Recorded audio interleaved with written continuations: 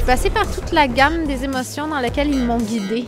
Je me suis laissée guider. J'ai chanté, j'ai crié, j'ai ri. Je dis à ma femme à quel point que des spectacles comme ça, où est-ce qu'on met en valeur la culture québécoise, c'est fantastique. Non seulement c'est des danseurs du Québec, mais en plus, il y a plein de chansons qui viennent du Québec. Fait que c'est vraiment le fun. Ça fait vraiment une espèce de gros party québécois. On a adoré. C'est vraiment spécial de voir les chorégraphies en vrai.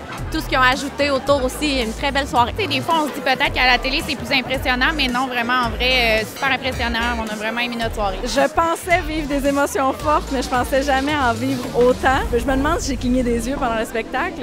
On n'a pas eu assez, on en a de plus encore. Génialissime, l'ambiance était super, les danseurs exceptionnels. Je suis sous le charme. J'étais content, c'était comme si je venais voir un band d'un de mes groupes préférés. On a vu les grands succès, ce qui nous a fait vibrer dans les deux dernières saisons, quelques numéros originaux. Mon fils a vu Raman, il est heureux. A été très touchant, je pense. J'ai ri sans faire, j'ai pleuré, j'ai été vraiment euh, surpris. Je vais vous dire à tout le monde de venir voir le show. Sérieusement, c'est un incontournable. Faut que ça fasse le tour du monde. Je trouve que l'attente entre les saisons est trop longue. Ça vient combler un vide en moi. Je vais pouvoir patienter jusqu'à la rentrée en automne pour la troisième saison de Révolution. C'est le show à voir. Le numéro de Gianni Marcio et Sam, euh, c'est hyper touchant. Ça, ça me vire à l'envers à chaque fois. C'est exécuté de façon euh, exceptionnelle. C'était le fun, le mélange de nouveautés, le mélange des danseurs ensemble, c'était parfait. Moi, j'ai capoté. On dirait que j'avais de la difficulté à pas me lever puis à pas vraiment, on dirait, danser avec les autres puis triper. Il faut aller voir Révolution en tournée parce que la danse, c'est beau à la télé, c'est grand qu'on soit à la télé présentement. On vraiment, vraiment, vraiment chanceux, mais en vrai, c'est palpable. En vrai, on entend le bruit des gens qui atterrissent, le bruit des mains sur la peau.